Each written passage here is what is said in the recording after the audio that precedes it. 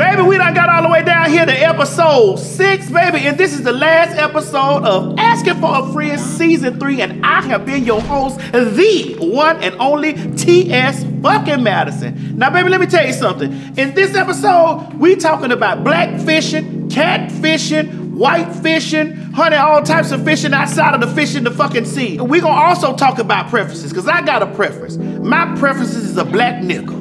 I loves me a black nigga. I don't like nothing else but a black nigga. That nigga can go rip me off, pull all my cash out the bank, bitch, and, and, and give it to another motherfucker. That nigga can take me, tie me to the back of a white Bronco and drag me all up and down Highway 85, bitch, and pull the skin on my back. When I heal up, I'm gonna look for me another motherfucking black nigga, cause that's what I like. Now listen, let me ask you your preference. What's your preference? What you like? Now, the last week the bitch told me that he liked the red balls. Now he like chocolate. You see, this is what I'm talking about. thought- you can get the swip and switch and switch on out, but whatever, whatever you like, that's your preference. But just don't make nobody else feel some kind of way because that's what you like. Remember, everybody got their own fucking preference, but that don't make your preference better than somebody else's. Now watch the goddamn final episode of the show, and if you burn my head, I'ma fuck you up. Thank you.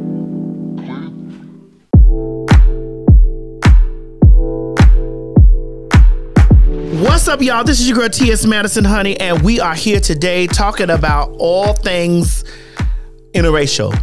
Interracial dating, interracial kids, interracial every freaking thing. And I have a lot that I want to say. But my co-host today is Shekinah Jo.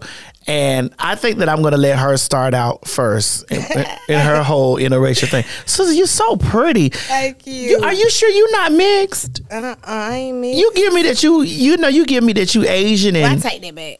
I, I think we all mixed. I think everybody in the world is mixed up with something.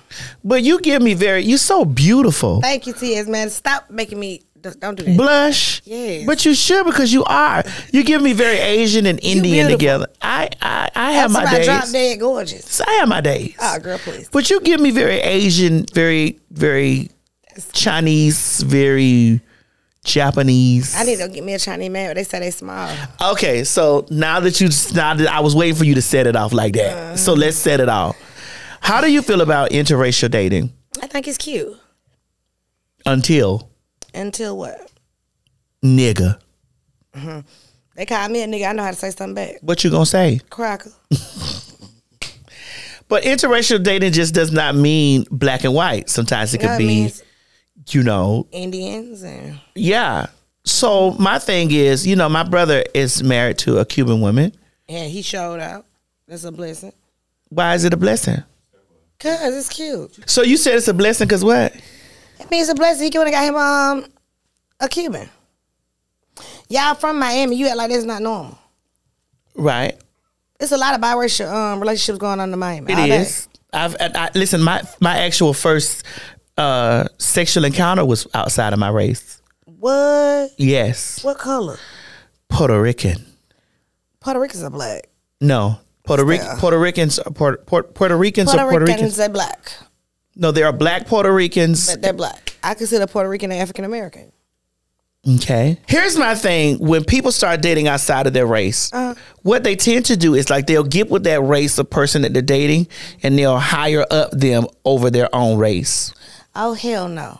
I don't like that. I'm not liking it either. I love my I love my race. Here's the thing: I love um, I love black men. Mm-hmm. That's black men. Listen, I built my entire empire off of being with black men, Mm-hmm. and not just because monetary value, but I just love black men. I love That- them too, but that- they ain't, some of- ain't none of these men Ain't none shit. of 'em sh- ain't shit. Ain't none of them No- shit. You can have Puerto Rican, you can have black, Ain't you can have none of 'em ain't shit. So- white. It don't matter. These, these motherfuckers ain't shit. All right, cool. But what I'm not going to do is I'm not going to date outside of my race. and Mm. I'm, stop. no, listen, you got to let me finish. I will fuck outside my race. You gonna date outside your? I, I bet if Junior walked up on your ass right now, Who is Junior? the white man. Mm-mm. Junior walked up on your ass right now, had all his stuff together, and got you got the look in your eyes together. Took you on a private jet and showed you the best time of your life. I mean, that has been done to me before. but I'm talking about he really was in love and there. Uh, that's been done to me Child, before please, you you'll fuck with him. for his money. Oh, that's evil. Now you're a dirty bitch for that. Why is that? Cause you are. You supposed to date for love. For his money, yes. No, but not for his money. The money gonna come. So let's talk about how black men start dating or or start dating white women or women outside of their race and start telling and start gassing those women up and telling those women that you know uh you better than sliced bread and ain't now black woman on your level. Mm, mm, mm, it's sad. Do you think that that happens? Yeah, yeah. I think All the time. All the time. It happens all I the don't time. Think it's cool. No, I don't think it's cool either, and that's my problem. When they when when people start dating outside of their race and they go over there and they blow the head, blow them people's head up, making it seem like that, like oh my God, there's there's nothing better than you. Right. Now I know that there's going to be some women out there in the audience or in the comment section say, well, you a man and you a transsexual or whatever, and you don't know anything about this. When I was into the business of dating, even when I was a hooker,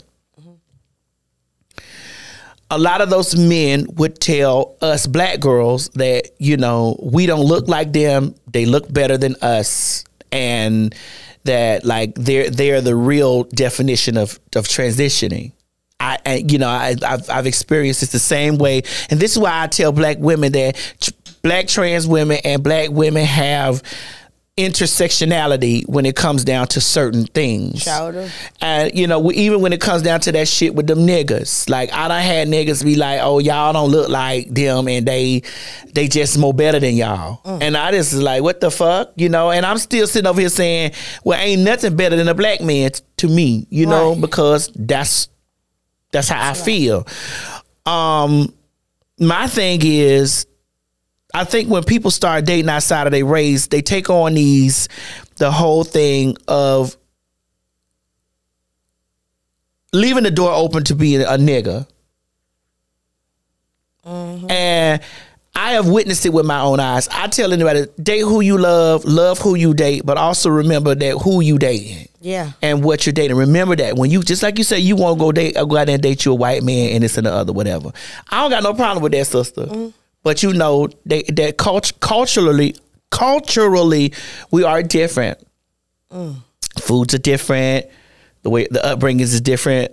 Raising kids are different. You know what I'm saying? It's just different things that are just different. I just been dating so many black men, you know, and I just want none of them worked out, unfortunately. Why would you say that none of them worked out? They didn't work out for me. Could it be you? It might have was. They didn't work out for me. I'm not knocking them. I'm just saying I've dated a couple, and now one of them dicks worked out for me. So I've dated the rich. I've dated the poor. I dated the needy. Okay, African American. So I was just saying I wouldn't mind going on the other side because I done dated out. let's say you get on that other side and you start dating this white man, mm-hmm. and he just start whooping your ass. I'm gonna beat the fuck out of him right back. he just start whooping your ass. When I get done, he gonna think he was in slavery. Somebody he whipping my ass. I'm, I'm traumatized from that shit. I ain't, ain't no man raise his hand at me. Uh, I got a pistol and I will beat his ass. Mm, and I got my mace.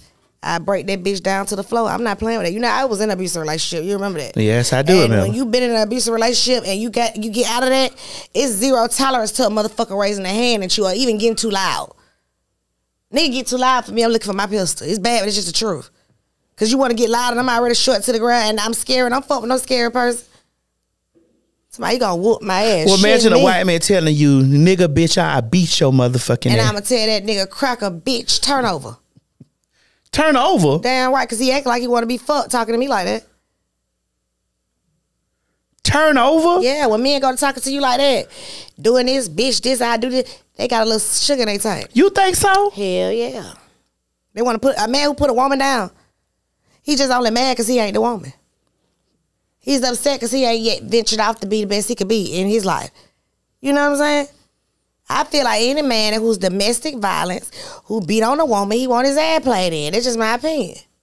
And you entitled to have your Yeah, opinion about that. am. Uh-huh. But we talking about a white man, Man, that white man think about touching me, he gonna go back to slavery because I'm gonna be the master and he gonna be the slave. and I'm gonna whoop his ass. Ain't nobody going for that. But Good you know. I want to. I want to say something about that. I want to piggyback on that. okay, come on, let's do it. Let's piggyback off. fucked up or whatever. But just him. I want to just say this now.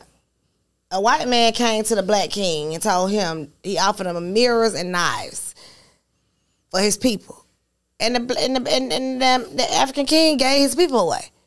If it was vice versa, if the black king would have went to the white man and said, I wanna I got mirrors for you and glasses or whatever. Don't you think the white man would have sold some of his people too? Where did you get this parable from? Oh girl, you better look it up.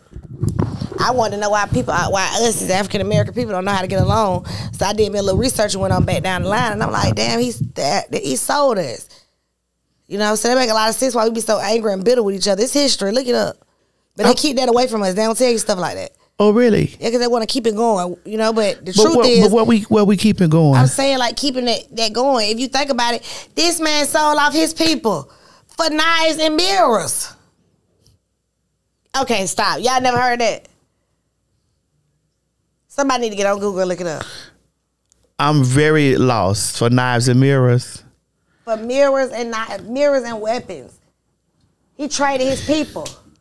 Okay. Okay, fine. I can't You know, I never check. I, listen, you you entitled to have the, the thoughts and opinions, and Right, but it's the, it's like the truth. I looked it up. Only reason I looked it up because I want to know why African American people don't like each other so much. Like why are we always crowds in the well. African American people don't like each other much because of the way that you know the slavery has put that in place for us not to Girl, like we ain't been in slavery, and you don't know what it's like. Me neither. No, I, I do- we don't know what it's like so I, we can't put that on now. Uh, but there are things that have uh, passed down from that, like Oh. traumas that have passed down from that, like So it's that, that like house niggas, field niggas, light skin versus that dark. light skin versus dark is still out here strong. Yes, it is. it is. And, But and you- all of that stuff also stems from slavery. We ain't gonna keep making it no excuse, though, matter because But- us as black women, we live in our best life. And ain't neither one of us going through no goddamn slavery. You know why? Because we got our hand was hustlers to make something happen. we did. you know, so we can't keep making up that excuse. But there that- something called systemic racism, though. Yeah, it is, but I don't really. I ain't even. I don't live in it. See, each his own, but I don't live in. But sister, you may not live in it, but we still are affected by systemic we- racism. I do believe that, right? But I also believe if if people learn how to carry themselves better, have something going on, we cannot keep having that as an excuse because God has freed us from that. So how do we keep going back to that other than living your life? We live in our life. We make sure our credit is together. We can drive. We want to drive. We live in nice homes. Yes, but all of this stuff is a part of patriarchy and white supremacy. Okay. These are systems that are in place that are, are put, and this is why we don't see it because it, we have been so affected by it so much, and we look at each other. We, we suffer from that. I was just at Six Flags, okay? Okay. And I had the handicap thing where you could cut the line. Well, this white woman came up to me and she said, What the fuck are you doing? I say, No, bitch, what the fuck are you doing? Okay. You understand? Uh-huh. So I jumped white with her and cussed her motherfucking ass out like a white person would. You know, what I'm saying to you is they ain't really running shit. Oh. Not to me. They not. Only to a certain extent. J- The Jews running more than them. We're- The Jews have more control than the whites. You don't agree? There's a lot of things that I, I, I, you put thoughts in my head, but there are also things that I know that, that there are systems in place that are keeping us oppressed, sister. Oh, girl. It is. I, I, there are lots of systems in place that are keeping us away from certain things. Well, I did get scared about this though. No shade. I got upset the other day when I found out Mm-hmm. that you know gays. If, if people don't want the gay and they a gay person in a restaurant, they could put them out now. Okay, that happens. I don't like that. I think it's so fucked up. Well, who do you think who do you think makes these laws? I think it's fucked up. Not sure, but it's not right. But- Because I feel like that's their first thing. They're doing that first, and then next they're gonna try to reinvent slavery. Now I do believe that. But sister, all I of believe it. that was the first straw to trying to see if they're gonna bring slavery back. That's my opinion because they're trying the gays, and it's not fair to tell somebody they can't come in a restaurant and eat. I cried when I found that shit out. They fuck with me. well, they also tell gays that they can't get health care as well. Gays and trans people can't get health care, or they're being denied housing and things like that as well. And so when I see people talk about, well, we need to have um, a straight pride, and it's just like, well, no one's oppressing you for being straight. So again, I say that there are systems that are in place from systemic racism that we all suffer for. I just pray that my my dream in this world today, in this the world today, is that everybody can get along, love one another, and treat each other treat, each other right, no matter what color you are. I just wish we could people could we could get over that. You know what I'm saying? I can't wait till the day come where everybody could just be together and come together and be okay without all that animosity and hate. You know what Well, I don't think that the day is going to ever come. I, I used to have hope for it, But I, might, yes. I don't. I don't think the day is going to ever come. I used to have hope for it, but once I see our people as black people using the same the same rhetoric that white supremacy has put in place, using the same tone, using the same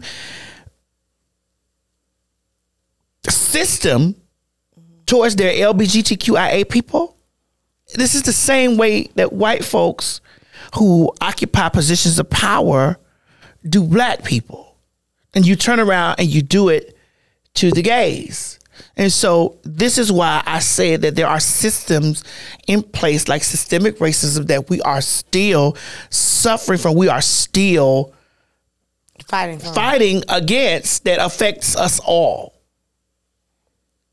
All right, ladies and gentlemen. So we've come to the end of this It's segment. so sad. It is very sad. And we've come Listen, black people, to the world. I love my black sisters and brothers.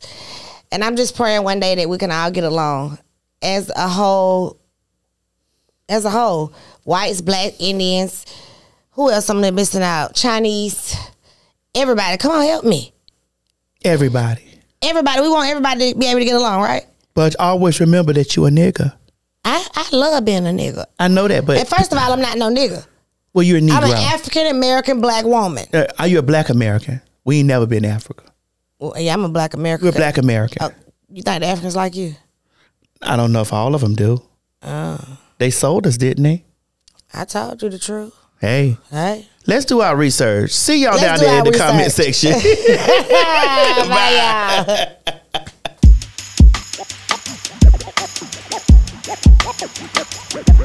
Hey y'all, this is T.S. Madison, honey, coming to you loud, live, and in color. I hope that you have enjoyed this entire season of Asking for a Friend. And I'm that black friend, bitch. That's that black friend. I'm dark brown, dark skin, light skin, beige, fluorescent beige, bitch. You already know the rest. Huh? I'm black. Now listen, we have a responsibility as black folks to hold each other accountable, to uplift each other, but most of all, our responsibility on the top of the list is to love one another. One thing we ain't gonna be, and that's anything else but black. You're black everywhere you go. You're black in your country, you're black outside your country. You're black. Black like that. And I need for you guys to take away from this whole experience over here on Blavity. The bitch, you black like that. I love you. I love you for real. And I want you to stand, always stand in your blackness. Be proud to be black. It's an honor to be black. And remember, baby, black is beautiful all day.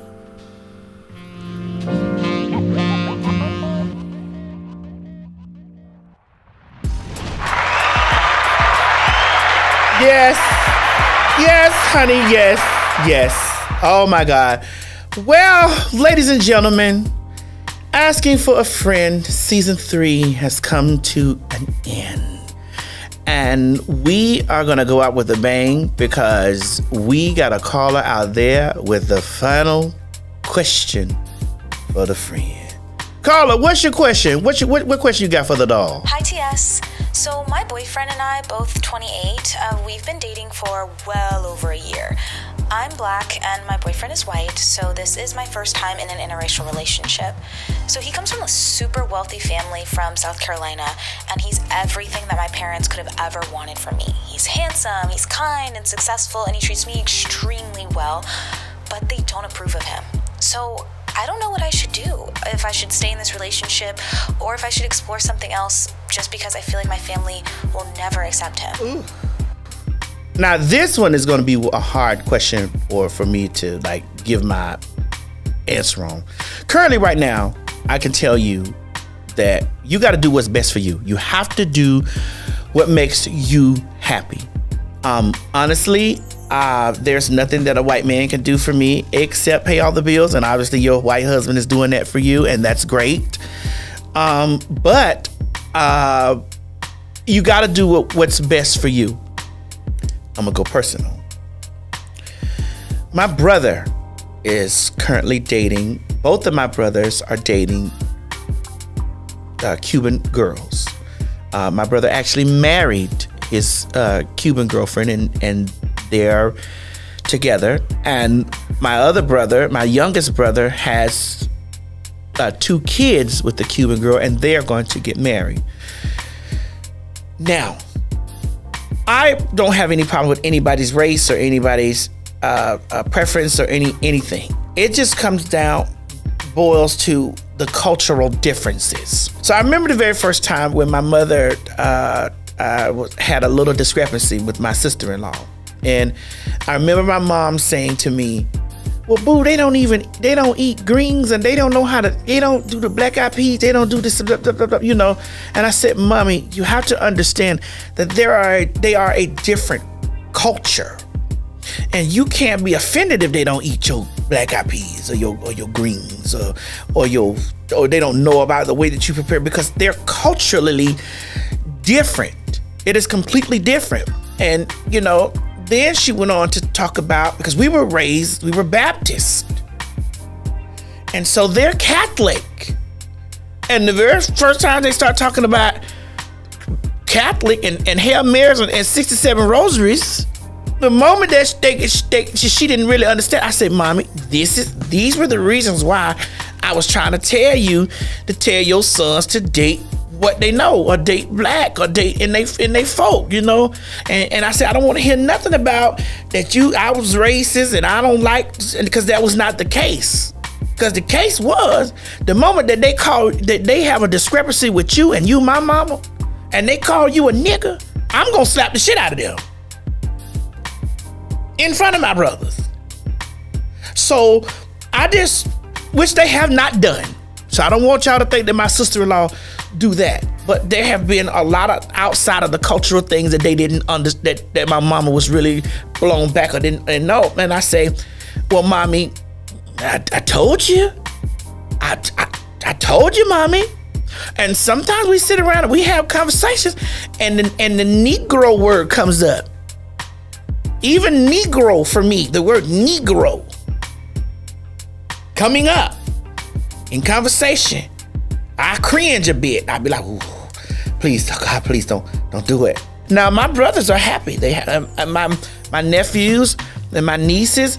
They are happy. I love my nephews and nieces. They, they can't help what they are. They they're, they're black and Cuban, and and and they can't help these things. And I love them. And I love my sister-in-laws. But I still and, and I still and you should still make sure that the boundaries are still in place because the day may come when he you make that motherfucker mad and he fuck up and say with your black ass. You know what the fuck that mean? It means nigger. You know it. So when you get into these places, you have to do what makes you happy. You have to let your parents know that you are an adult. But when y'all have racial problems inside the house, don't take that to your mom and them. Don't take that shit to your mom and them because just like me, telling my mama, I told you. I, I told you, mom. I told you, mama. And so your mom gonna be like, girl, I told you. You know, even though both of you guys are 28 years old and you guys are living in a time now where where where, where we, we're trying to progress forward as a race, ask them how they feel about the whole George Floyd thing. Ask, ask them about that. Ask them how they feel about reparations for black people in America with his wealthy ass ask them uh, uh, about redlining and college funds and and and ask them about all the things that really are a uh, uh, uh, uh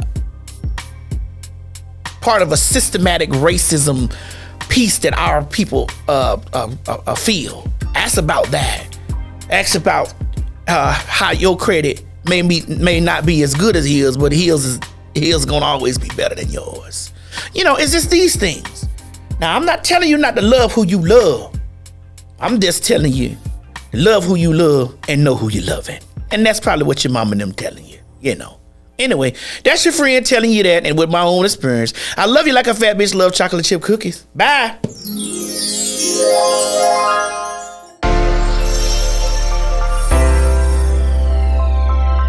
Hey y'all, this is the section of our show where we ask an expert Today, our guest is Jackie, honey. Jackie, what's your last name?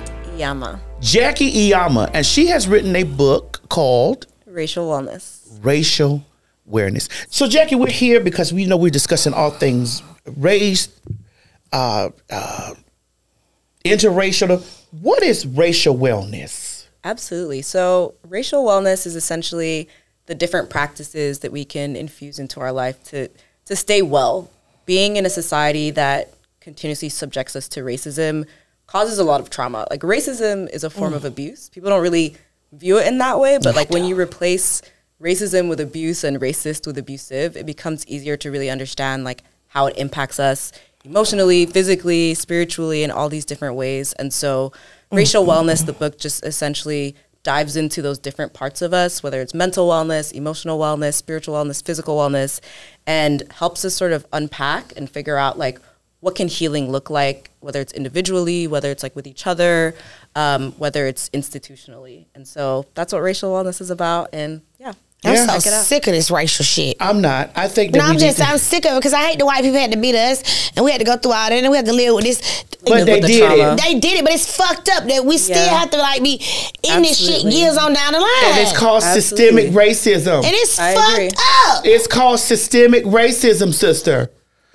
Jackie, we brought you here because we were having a very deep conversation about um, interracial dating, uh, in intersectionality. Black women and black trans women uh, face the same things when it comes to dating men that date outside of their race. Um, lots of times people don't want to have that type of conversation, but it is most definitely true. Um, I was talking to Shekinah over here, and I was telling Shekinah that um, I experienced some of the same things that she experienced when she was saying that, um, you know, black men have dogged her and they've, you know, went outside their race and they've said how much this race, no matter if it's white, Asian, whatever it is, is so much better than black women. And I was telling her, sharing that experience with her, like I've experienced the same thing when I used to be in uh, sex work in the adult film industry. Like black men would be, a lot of black men would be like, "Oh, I'm not de- dealing with y'all. Y'all don't look as good as the white girls, or you don't." um, you know, you're not as progressed or as uh, passable as the white girls. And like, you know, even though I've received lots of those types of traumas, and black men um, are a large percentage of men that kill trans women and stuff like that, but black trans women, I'm still not really dating outside of my race. Right. I'm not anti everybody else. I'm just pro black. Right. Yeah, absolutely. And I feel like I don't know, I have this conversation a lot with my friends. Like there's definitely an issue around black men not wanting to date black women. And it's people have conversations about like love is love, like date who you want to date, but it's a little bit more than that. Like I feel like people talk a lot about like preference and like, oh, I have this preference, but there's always like a politic in your preference. Um, particularly if you're continuously dating people who like adhere to whiteness or they're closer to white beauty standards. I feel like that speaks to internalized racism or mm-hmm. internalized trauma, and like mm-hmm. that's a conversation that people don't want to talk about a lot. I want a white man. Um, oh, Here. Why do you want a white man? I just want him. Why do you think Shekinah wants a white man? Why? Why? Let me know. Let me know. Mm. Although I will say, like, I feel like it's different for black women to date outside of their race than for black men. Like, what I've noticed is like, black women, black trans women, anyone who's like dating black men, it's usually, it or dating not dating black men. It's usually coming from a place of like, I'm just looking for love. Whereas I feel like the narrative that I've seen a lot with black men is like, I don't like black women and this is why I want to date. Like it's always like you're putting down black women in order to date these other races. So I'm putting their ass down because I want a white man. But you can't you can't talk about it and then go and do the same thing that they do. You can't fight fire with fire. I've been wanting a white man. Why? Tell us Why? more about that. Oh, because I feel like you know I've dated a couple blacks and um yeah I don't like their dating technique. What is their dating technique? Shit, ain't shit. So you think if you got with a white man that it's gonna be this year? He might be he might keep certain things secret. He might not tell it all. He might not you know bring it to your face and stuff like that. If I mess with him, he probably got a, a woman somewhere in Peru. so Jackie, you think dating outside of your race uh, is because you want to see if something is different, not necessary? Because it's to me, it sounds like that you're not really attracted, but you want to just try something different. I wasn't attracted to them niggas I was fucking with before. She kind of sound like she got some internalized stuff going on. I mean, Trauma. it Mhm, I do. it depends. It depends. Yeah, like it depends on like where that's coming from. I feel like sometimes if you have experienced a lot of trauma with black men, Black men are author confusion. what? then that can sort of cause you. to Shekinah, I used other to be a black man. And I, you probably was an author confusion. Maybe that's why it reflects like this. Huh? Is this confusion? No, this is beautiful. I just had to test your skills real quick. I'm just letting you know you're beautiful. Thank you, baby. And this had nothing to do with you because right now you're a girl to me, okay? You're A part of the girls. a you're woman. a woman, a grown ass woman. So you had nothing to do with that. Like I said, these black men, okay, period. Girl, what does that mean? Do you have listening to her, Jackie? Do, what are you? What, So, is it? Do you feel like it's coming from negative experiences, or has it just It come always from their been that goddamn way? mamas. Hmm. so are we blaming black women? we can. Because they done raised some bullshit out here in these streets. Whose fault is it though? The mamas. But whose fault is it? How, how is the how is it the mama's fault? It's the mama and the daddy fault for having these motherfuckers. That's why my grandma always say you supposed to check your genes what you had these children by. Cause a lot of them just out here fucking out of wetlock. Wetlock done had a baby got a demon spirit on it because the daddy had a demon spirit and they grew up to be demons themselves. I think the black community in general has experienced a lot of trauma and people are reacting in different ways to that trauma. That being said, black women have also experienced that same trauma and aren't acting in that way to black men. So I feel like that's where like patriarchy comes in. Like mm-hmm. you're seeing this intersection between like patriarchy and anti-blackness, which obviously is going to impact black women, black trans women the most. And I mm-hmm. think that's what's taking place. And that's why you have these very unhealthy dynamics sometimes when mm. it comes to trying to date black men. Um, and so I've seen a lot of black women just sort of be like, kind of what you mentioned about still wanting to date black men, even though you faced all these different experiences because maybe you feel like there's more commonality or maybe you feel like you don't have to like explain yourself or you're not being fetishized in certain ways then sort of not being treated in a way that feels like you're some sort of specimen um, and i feel like that's at least what i've heard or that's been even my experience when it comes to like wanting to continue to date black men I was in Europe for uh, about 14 days. What did you love it? One thing I have found out that you black everywhere you go. oh yeah absolutely Truly black. absolutely We couldn't get a cab for two hours. yeah like anti-blackness is very This is why, and I don't want to come off in a racist manner because I'm not. But this is why I'm very strongly about black and black. Yeah. Because when you step outside of America or the American values and shit like that, you black. yeah And this is what black men that I try to when I talk to black men about the gripe that I have with them at times about the way that you treat black women in totality, black black bio women and black trans women, the way you treat the girls in totality. Mm-hmm. It's like nigga, you's always gonna be a nigga.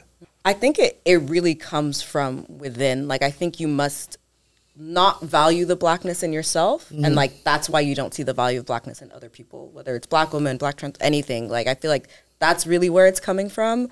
Um, and I feel like that's a really hard conversation to have because it's like, how do you get people to, like, look at themselves in the mirror and understand, like, the different systems at play that cause them to not like themselves? Like, who taught you to hate yourselves? No one wants to have that conversation. No one wants to look deeply into that and realize that that can impact, like, who your friends are. It can impact who you're dating. It can impact so many aspects of the way you choose to move through life. Um, but because black women sit at this intersection, we're experiencing so much of the harm. And I feel like that's a whole nother conversation about like misogynoir, but like mm-hmm, mm-hmm. it's a whole ass thing. And mm-hmm. so I feel like it impacts our dating lives. It impacts how people choose to sort of seek out relationships. Um, and I feel like it's just it's just very ever present. And so there's, there's there's a lot of work that needs to be done. So let me ask you this question, question, Jackie. Right? I have a question, and my question is, what about? And this might throw you for a loop. There are there are white people who have. God, I don't know how to say this right, but I'm just gonna say it the way people would understand out there. Who have blackness as- attached to them. And I can give the example like Woah Vicky. She uh, black. like Paul Wall. No, Woah Vicky is not black. She's white. I know she white, but I'm saying she acts black. Right, but I'm also saying, what do you think about? it? Is that black fishing? I definitely think it's it's either blackfishing or cultural appropriation because I feel like it's white people who are trying to like a escape whiteness, but also they're trying to get closer to blackness for the social capital that's attached to that. Black is cool, even though we're continuously oppressed. Like there's still this narrative that like being black is cool, and so you see a lot of people who are using that to get further in life, and I feel like it's a very weird space because people who are actually black are may not necessarily experience that same upward mobility when they quote unquote act black. But mm-hmm. yeah, I definitely think it's cultural appropriation, but I don't think it makes Woah Vicky black. Paul Wall, because he's from Houston. He's a rapper from Houston, Texas. Okay. You know, I'm something like a ant because I'm low to the earth. You Yeah. know, Yeah. He used to rap with Mike Jones and all of them back in the day. How are you young? Young? I'm I'm pretty young. Okay, yeah. Mike Jones did from back in the day. And so, you know, when I saw Paul Wall, I watched the interview where Paul Wall said, I didn't know that I was white until I actually was told that I was white. He said I was just in the hood and I just was around the folks and you know this is this is who his, his character is. Now I do believe that that is his character. Would that fall under a a a class of transracial? I think that's more like maybe transcultural. Like I think it's possible ah. to like grow up in a certain neighborhood or grow up in a certain environment where you're tied to a culture that's not necessarily yours. Transcultural. but I think like maybe culturally the lines can for sure be blurred, and I mm-hmm. feel like you can definitely identify with a certain culture more than another one. But if you're going out in the world and maybe other people are interacting with you as a white person, then are you really having the black experience? I don't know. Well, I maybe. think I honestly think that he's having that they both no shade because I know Shekinah's over there like that she like her, but I think that they're both having the black experience. Yeah. and they're adjacent, like far, far adjacent Yeah. to it, far, far adjacent. But that's what makes it different is like you, if you can switch it on and off. Like some days I want to be black because it's cool. Some days I'm going to be white because it's it benefits me. I feel like that's what makes it a little bit tricky. It's like you can't. I mean, for me, like if I go out into the world, it's like you are a black woman. There's no, you know what I mean. There's not some days off, some days on, and then some days like it's just that's just what it is.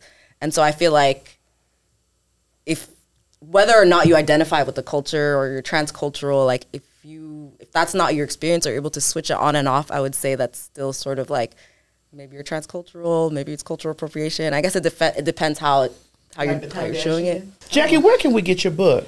Um, the book is available anywhere. You can get it on Amazon, Barnes and Noble, anywhere where books are sold. Definitely give me a copy. Absolutely. Ladies and gentlemen, you have been watching Ask an Expert on Asking for a Friend on Blavity TV. We love Sister, you. We love you. having we love me. you. We thank you for coming through. I want to talk more in depth with you about the situation, and I want to sit down with Shekinah and have we got to we got to dig into this and uh, unpack some stuff. Shekinah has a lot of internalized stuff going on with her. no, I don't. You do. I don't. We'll see y'all in a minute. In a minute.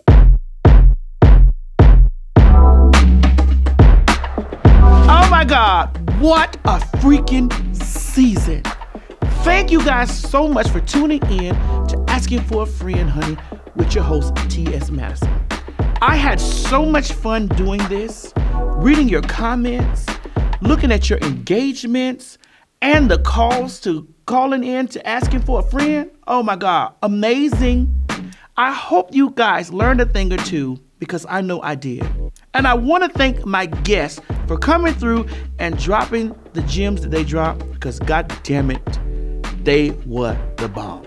Now listen, this is the infamous T.S. Madison signing off. And always remember, wherever you see me, don't meet me there, bitch. Beat me there.